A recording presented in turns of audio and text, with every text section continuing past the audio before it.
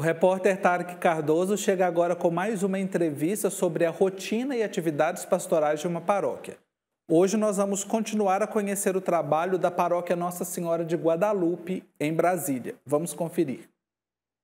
No expediente paroquial desta semana, nós continuamos a nossa conversa sobre os párocos e o trabalho deles em cada uma das regiões do país. Hoje nós vamos conversar com o padre Marcelo Secato. Ele é pároco da paróquia Nossa Senhora de Guadalupe, em Brasília, e vai conversar conosco sobre como é ser um pároco na região do Distrito Federal, a região administrativa do país.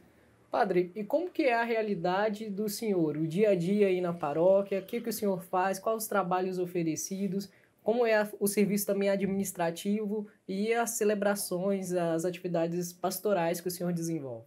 Bem, muito bem. Como a gente consegue fazer todas essas coisas, não é verdade?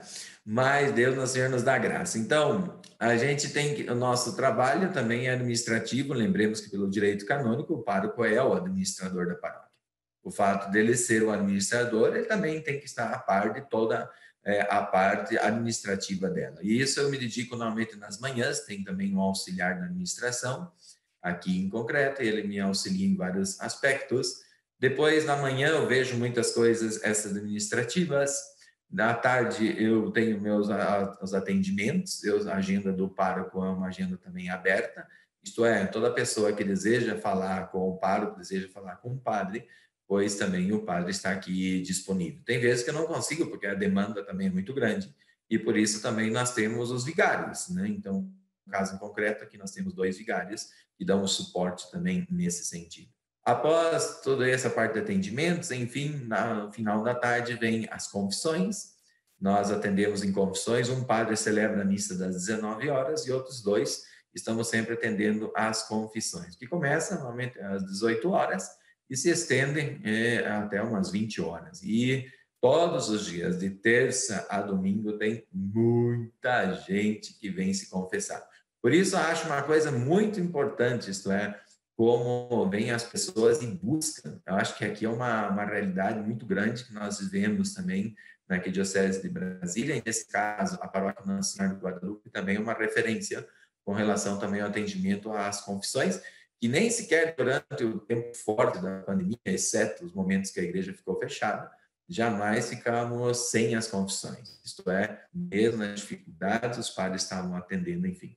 E durante o dia também nós atendemos, tem muitas vezes que pedem, somos enfermos, que pedem fazer umas exéquias, nós também temos que sair, vamos aqui também nos hospitais, vamos nos cemitérios, enfim. E também a visita às famílias, não? Muitas famílias também pedem solicitam uma benção nas suas casas, então a gente vai ter um momento com as famílias e assim vamos durante todo o dia preenchendo, né? E à noite, depois das 20 horas, normalmente agora um pouquinho mais reduzido, mas quando era possível, também temos as reuniões, né? Reuniões de formação, etc., que é um momento que muitas vezes as pessoas mais podem, justo depois das 20 horas. Hoje ainda muitas dessas formações, obviamente, se fazem, mas de forma online. Né? Padre, eu vou fazer uma pergunta agora para o senhor e pode deixar o senhor um pouco numa saia justa. Mas o senhor acha que tem um desafio que seja maior como um pároco aí da Paróquia Nossa Senhora de Guadalupe e que seja comum também aos outros párocos da Arquidiocese de Brasília? Bom, aqui um desafio próprio da Paróquia Nossa Senhora de Guadalupe tem sido desde o ano 2015, um ano após que eu, te, que eu recebi, nós tínhamos um projeto de construir o centro pastoral, né? E nós, durante todo esse período, tanto economicamente difícil, depois veio a pandemia, nós seguimos com a obra, essa obra em concreto aqui do centro pastoral. Isso tem deixado os cabelinhos mais brancos, né? Enfim, mas nós temos, e é um desafio, nós hoje praticamente temos já 65%, 70% concluído dessa obra, falta ainda uma outra parte, mas aí estamos. Mas esse é um desafio próprio da paróquia, como pároco, demais de tudo que a gente tem que fazer e tocar adiante essa obra. Para mim tem sido um grande desafio nesses últimos cinco anos. Mas agora, eh, nesse período, sobretudo da pandemia, algo que desafia a cada um de nós como párocos, que esse verbo que nós encontramos muito nesses últimos tempos, que fala que nós temos que reinventar-nos, não? reinventar-nos para poder evangelizar em tempo de pandemia.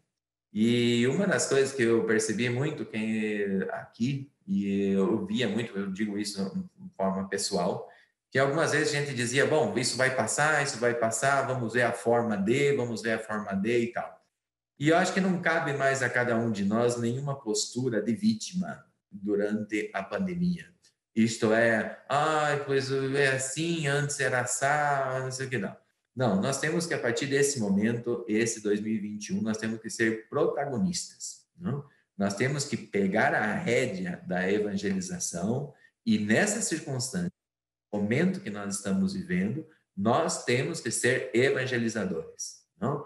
Então, temos que ver realmente de que forma vamos trabalhar mais, de que forma nós podemos online, de que forma nós podemos ajudar mais a catequese, ajudar as famílias, mas nós temos que trabalhar com essa circunstância de sermos realmente protagonistas. Esse é o grande desafio para início desse 2021, que nós, como pároco, sobretudo, busquemos evangelizar em tempo de pandemia, né? no momento oportuno ou inoportuno, nós temos que seguir evangelizando. É o grande desafio que Deus nos coloca, sobretudo, e como igreja, nesse ano 2021. Padre, muito obrigado por partilhar um pouco da sua experiência conosco aí em Brasília e pela experiência de fé do senhor também e pelo sim, pela vocação do senhor. Nada, eu que agradeço. É, obrigado aí pela oportunidade a todos eles que nos seguem. Um grande abraço.